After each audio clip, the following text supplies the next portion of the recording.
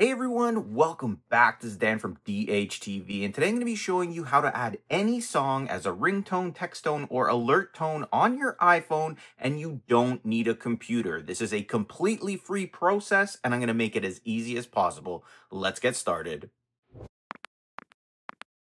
All right, so I've got the iPhone 16 Pro here, but should work with iPads or any iPhone that has at least a fairly recent version of iOS installed. And we're going to start by opening up our Safari app here, and you're going to go to the website zedge.net. Now, I strongly recommend you guys watch this entire video and follow these instructions because there's a few things within here that can be tricky. So make sure you follow the right way. Otherwise, you end up with sections where it's asking you to pay. But this is completely free if you use the website, not the app. So don't tap on get the app. So once you're on zedge.net here, all you do is tap on these three little lines at the top left It'll bring up some options here. We're just going to tap on browse now. So let's go through actually downloading a ringtone here. So we'll start, we're going to tap in the search bar. I'm just going to search for the Halloween soundtrack. So I'm just going to type in Halloween, tap search, and it's going to pull up wallpapers as well. So I'm going to actually tap here and just strictly make it ringtones and then tap search again. Search any way you want. And there they are right there. If I tap on the little play button, you can hear it. And if I want to download, I'm going to tap outside of that play button. It opens like this. Again, don't tap these ads. It's pretty heavy on the ads, this web page here. But you can tap on download here. It's going to prepare the download so you're in this queue for about 15 seconds.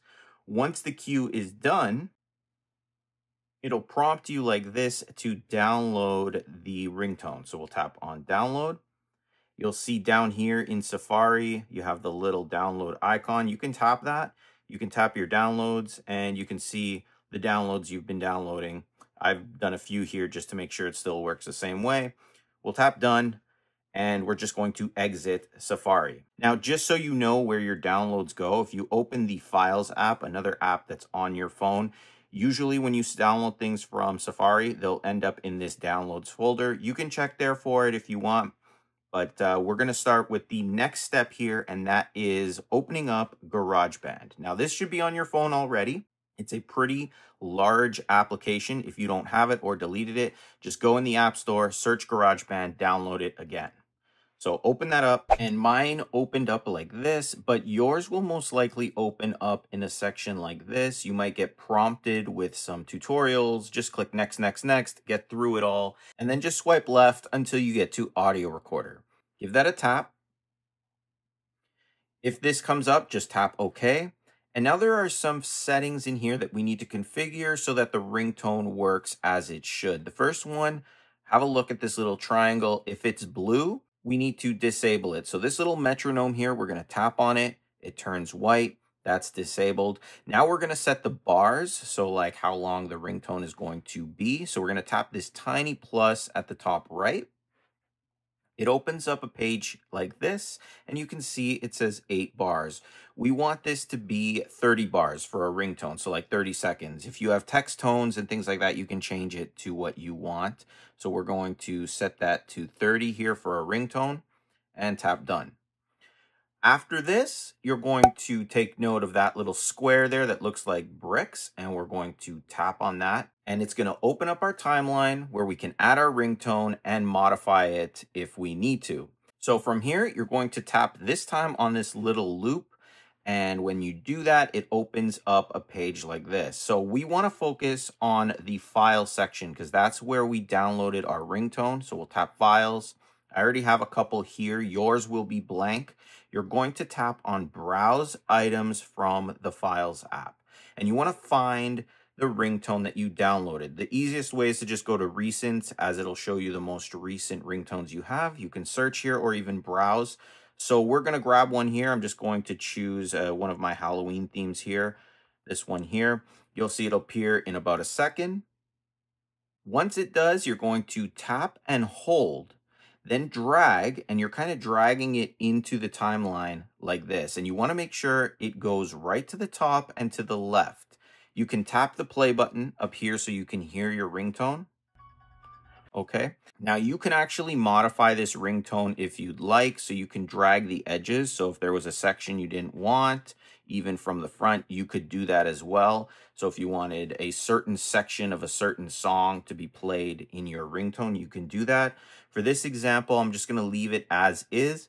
And when you're ready, you can create your ringtone. So we'll start by tapping on the top left here. There's a little triangle. You're going to tap on My Songs. It'll open this page here. It might load for a little bit. You want to tap and hold on this. And you're going to tap Share at the top right. When you do that, you get three options. Obviously, we're making a ringtone or a text tone, so we're going to tap this option in the middle and you want to name your ringtone so you know which one it is. So for this, I'm going to delete my song and I'm just going to write Halloween. Once you're done, tap done. Once you've named it, tap export at the top. It's going to start exporting. When you see this prompt, tap OK. Now just exit the GarageBand application and you're going to open up your settings app. From here, you're going to scroll down to where it says sounds and haptics. And here you can change your ringtone, text tone, and all of these different alerts using the ringtone or text tone you just downloaded. So for this example, let's just open our ringtone and you can see right there, Halloween, the one we just created, is there. If I tap on it, you can see it starts. You can do the same thing in your text tones and all of these as well. So if I tap on text tone, you'll notice it's not there. You actually scroll down because we saved it in the ringtone section, but it'll be right there. And that's pretty much the process here. So make sure, once again, you go to the right website. It's zedge.net. You don't download the application. You don't tap on any of the ads. You don't tap download here. You make sure you tap exactly the ones I showed you. So hopefully this video helped you out and helped you get free ringtones on your iPhone. No use of a computer. I tried to make it as easy as possible, but if you do have any questions, feel free to ask in the comments below. I will do my best to help you out. As always, I post tons of iPhone tips, tricks, and tutorial videos. So if you're looking to learn more about your iPhone and get the most out of it, check the link in the video description to learn more. Don't forget to hit the like button, subscribe to the channel, and click the bell notification box so you're notified when I post new videos. And as always, I will see you in the next one.